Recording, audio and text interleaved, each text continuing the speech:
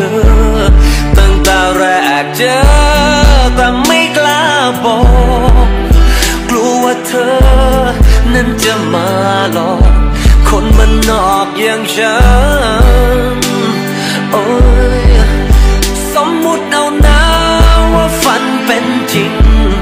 ก็แบบว่าเธอดีใจให้กันขนาดแค่คิดหัว